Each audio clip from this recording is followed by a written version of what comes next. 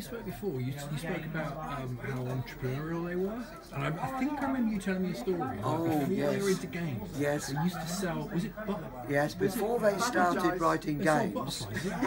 I remember four games. Um, when near the um, house we have uh, in in Trowbridge, we still live in the same house. Um, there used to be a bird garden there, and in the bird Rode garden bird garden. was yeah Rode bird garden, and in that bird garden they had a butterfly colony looked after by what they called the butterfly man, and they got the bug literally for they used to get butterflies. Yeah, and they used to go along and say, "Can we go and have a look and see the butterfly man?" So they didn't used to get charged to go into Rode Bird Garden. They Can would cycle. They would cycle down about four miles down to this little bird garden. They'd go in and they'd let them through the gate. They wouldn't charge them. We'd just come to see the butterfly man. We want to buy a few more chrysalises. And uh, they came we home with three advice. chrysalises this big, Yeah. and they said they were going to breed moon moths. Oh, Right. So they only had three. I said, don't you know if they're boys or girls?" So they said, "You shake them," which we thought was quite amusing. That's what they were. That's what they were told. but it worked. Nevertheless, they did print some moon moths, and they were entrepreneurial.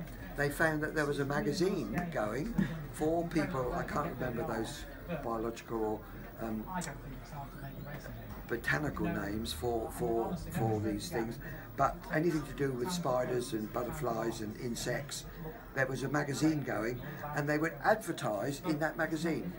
And they would sell them by mail order. And they would also take them to school and sell them to the pupils there at school. So they, they Susan, I think learned. it was built that great big old hut and built Yes, that they great had a big, big net cage, in the- a big cage. I don't know what the neighbours thought because they had a great big blue lamp Well, they had a, U, a that big UV attracted the butterflies. to attract the moths and things. But in we the didn't get any. you see. How old were they then?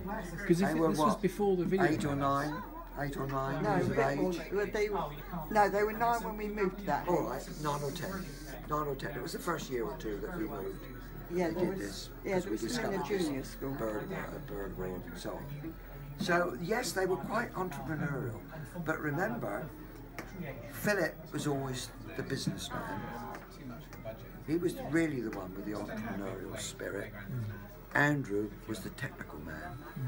He loved to write games. They both loved to write games. Yeah, they worked so well. They did then diverge in their um, attention when it started to become a business. They realised that with two of them, one can heads are better than one. concentrate, one can con- concentrate on, on the business side of things, and one can concentrate on the technical side of things and the production of the games.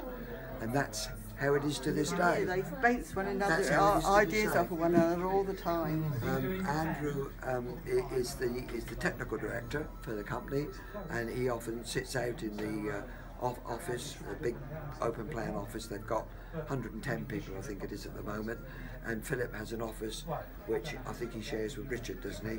Who's there? who was their um, ex uh, who's the finance director, and uh, they deal with the contracts and finance and the, and the business side of things. So it works extremely well. And we think a lot of the success of their business has been the fact that they're twins, they work very well together, they know each other's minds, and they have become a sort of synonymous really with this sort of genre of games. Adventure games with a maze, with some skill in trying to find out and, not only have an adventure, but to be masterful at finding things and doing things, working out things. And you've heard them talk.